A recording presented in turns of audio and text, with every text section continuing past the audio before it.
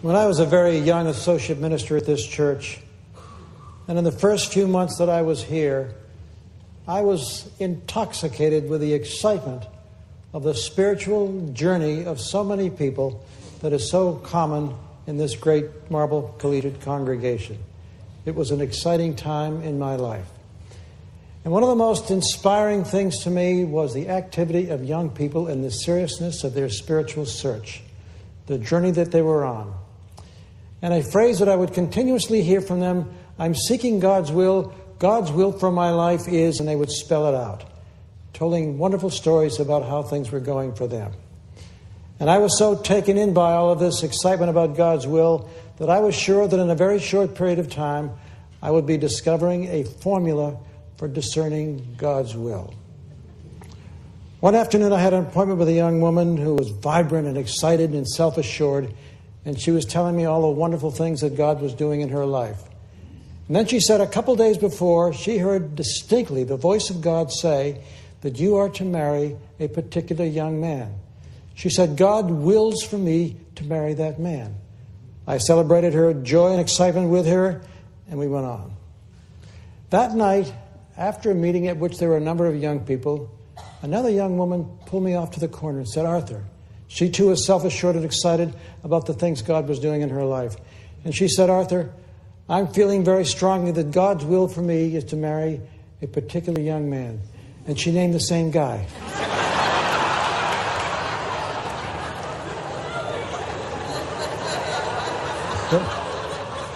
Neither of them married the man.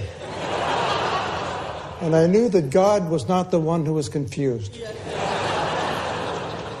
And very quickly, I gave up my naive dream that I was going to find a formula for discerning God's will in my life.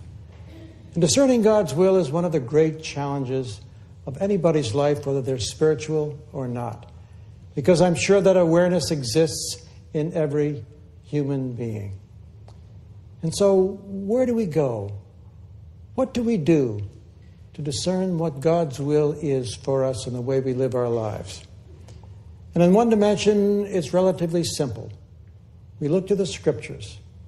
And the scriptures are what I call the wisdom of the universe, the great wisdom of the ages. It's all in the Holy Scripture, it's all there. And if you can distill it all and put it into one sentence, this is what God wills for us. God wills for each one of us that we always take the high road. That we always try to see things and behave according to the highest point of view.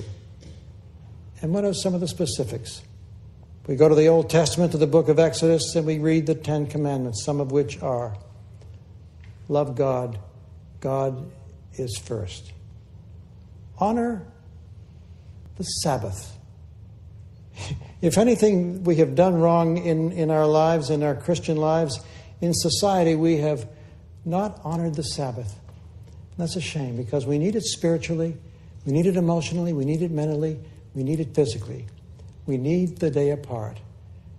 And in the creation story, did not God say, and labored for six days, and on the seventh, God rested, took a day apart. What are some other commandments? Honor your mother and your father. Do not take another person's life. Do not steal. Do not lie. These are some of the commandments. These are things that help us take the high road in the situations, the circumstances, the challenges of our lives. And then we go to the prophet Micah, who said some extraordinary things in just a few words. What is good? What does the Lord require of thee, O mortal? And he gives these words to do justice, to love kindness, to walk humbly with your God. That says it all, doesn't it? That's the high road. And then we go to the New Testament. What does the New Testament say? If we pulled it all into one or two or three words, we would say love, or two words, a forgiving love. So that in every challenge, every circumstance, every difficulty we find ourselves in, what is God's will for me? What is God's will for you? To take the high road. A number of years ago, I was asked to speak at the Rotary Club of Kansas City, which was a large, very active, and influential club.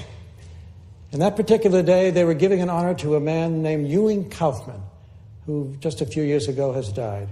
Ewing Kauffman was Mr. Kansas City, the most civic minded man in that community, did so much for that Kansas City. He founded the Marion Drug Company, which he told me he started in the garage of his house after the Second World War and built this great big conglomerate and did a wonderful thing.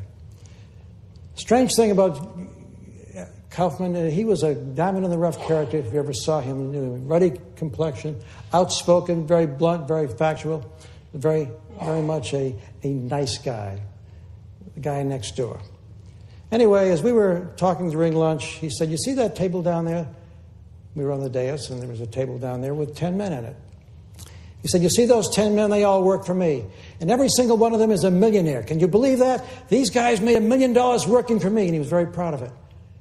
Then he said, In the next five years, there are going to be 30 millionaires working for me. And I never heard an owner or a CEO talk, boast about what his employees were making, what kind of money they were making. Usually it's they cost too much money, they're too expensive, I don't want to give them this or that, but he was so proud of this. And then he said this He said, Arthur, I run my company by the Bible. They don't know that, but I run it by the Bible. If they thought I was preaching from the Bible, they wouldn't listen to me, but this is what I tell them to do. Everyone who works for me has to treat every other person as they want to be treated. He said the golden rule do unto others as you would have others do unto you. And then he said, Arthur, it works. It really works. And it does. And I was preparing these remarks for this morning, I was thinking about myself and the behavior that I showed in three or four situations this past week where I didn't measure up to the golden rule. And how difficult it is to be in a situation where if I was in the reverse, how would I want that person to treat me? And it's a real challenge and a real test. But Ewing Kauffman was right. It works. It really works. Then there's a phrase I heard a lot as a child. And some of you of my generation probably were familiar with the same phrase. In fact, it was so important to somebody in my Sunday school that I attended as a child that they had it done in calligraphy, framed and put on a Sunday school wall. And it went like this What would Jesus say? And I had mixed feelings about that. There was a part of me that wanted to hear what Jesus would say, but there was a part of it I was somebody was pointing their finger at me, Arthur, you're being a bad boy, what would Jesus say now? And it was it was in a negative. And so I dismissed that phrase for years and years and years. But it's a good question. In the situation that you're dealing with, when you're seeking to find out what is the best right thing for me to do, what might God's will be for me in this circumstance, you ask the question, what would Jesus say? And my guess is that you, as I, would get a pretty good answer. Let me come through this in another way. That in every circumstance that we're in, that we seek to be a blessing, that we bring a positive spirit, that we bring something good into the situation.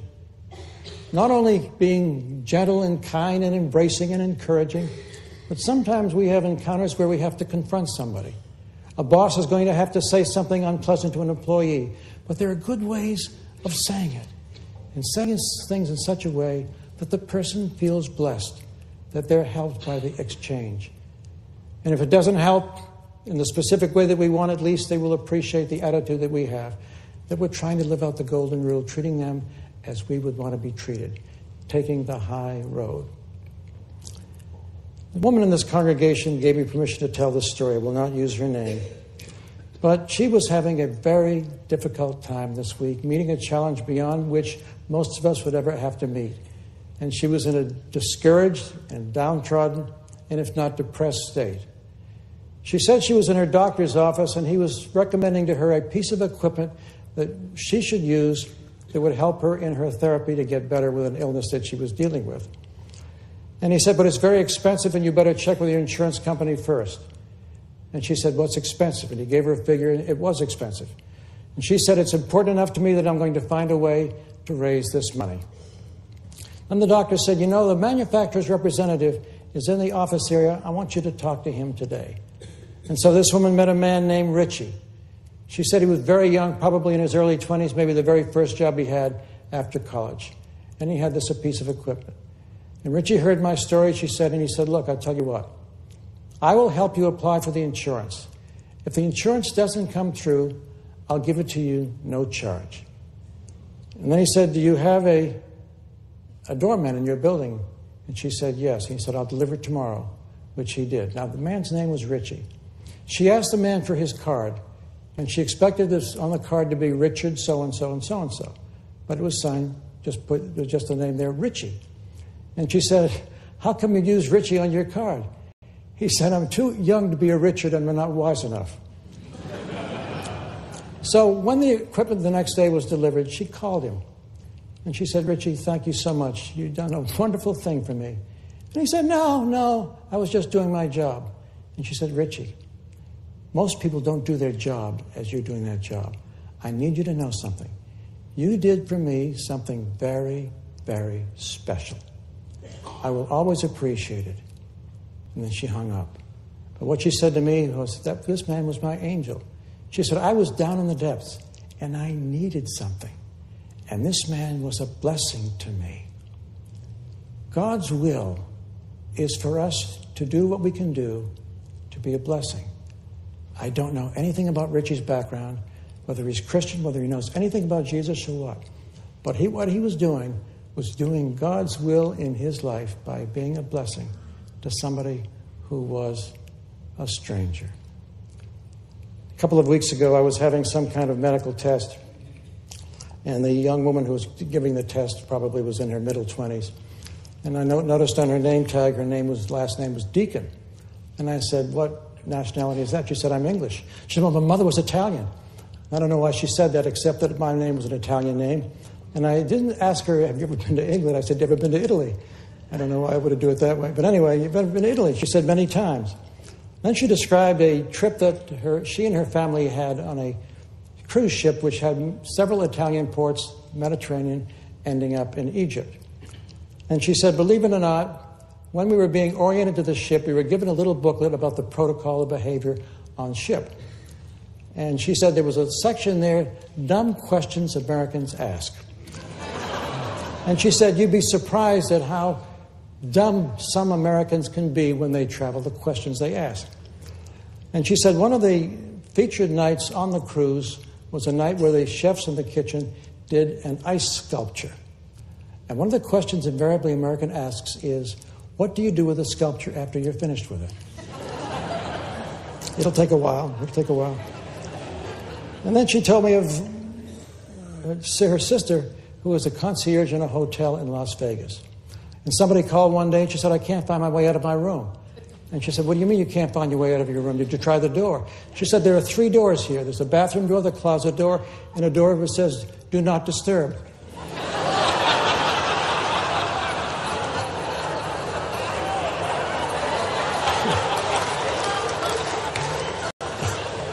I laughed.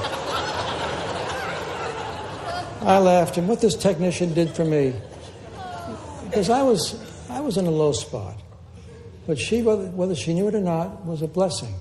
She was living out God's will in that moment by bringing some cheer to me.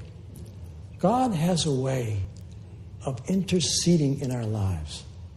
God has a way of presenting God's self at times when we need God. And the English spiritual writer Evelyn Underhill said, God's power comes into action just where our power fails. God's power, think of this now, comes into action just where our action fails. And this is the way God enacts, lives out God's will in our lives. And something else that Evelyn Underhill said in telling the story of what happens in the spiritual journey. And she said, the more we're on the spiritual path, the more we discover that a strange power of spirit over circumstance. The strange power of spirit over circumstance. And you know, you and I think we're in charge. We think that we are responsible for everything that happens in our lives. We are not in charge. Please know that. But we are responsible. We're responsible for the way we, respond to things, for our attitudes, for the way we handle ourselves.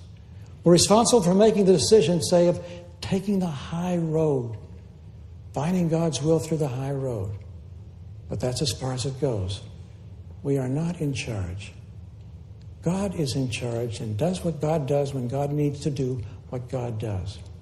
And God's will, so many times, is enacted in small, subtle ways, but in large and dramatic ways.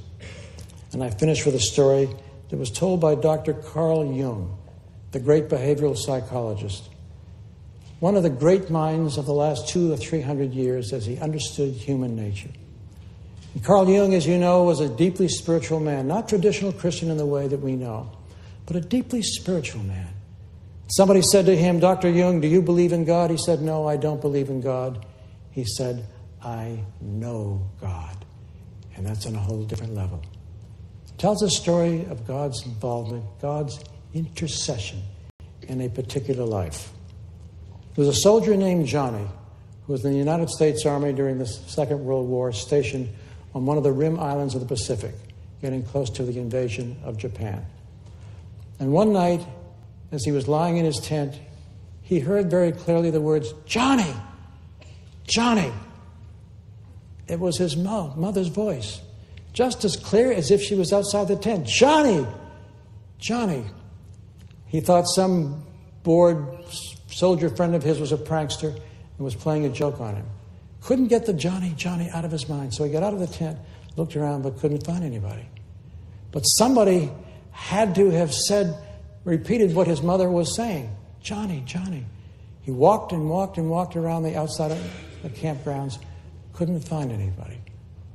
Went back to his tent, and when he got there, he found a gaping hole with smoke where a Japanese mortar shell had landed on his tent while he was out looking for somebody who he thought was a prankster.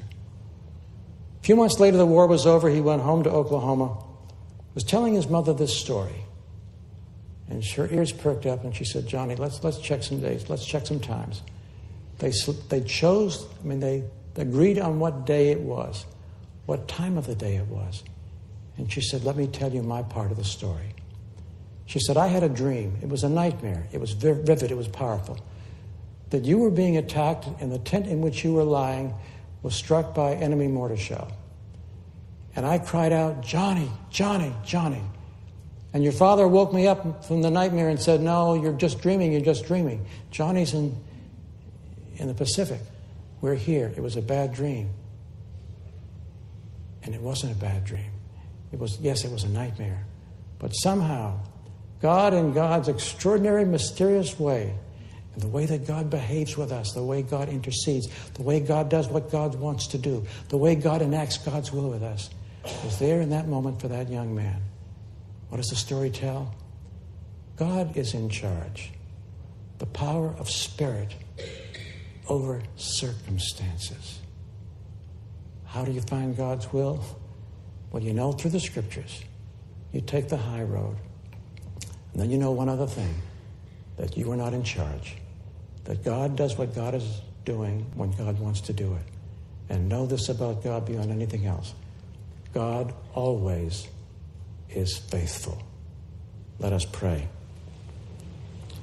Lord, for the blessings of our lives, for your presence, your guidance, your challenge, we give you thanks. Be with us all now, Lord, to discern your will. Help us. Continue thy faithfulness. Amen.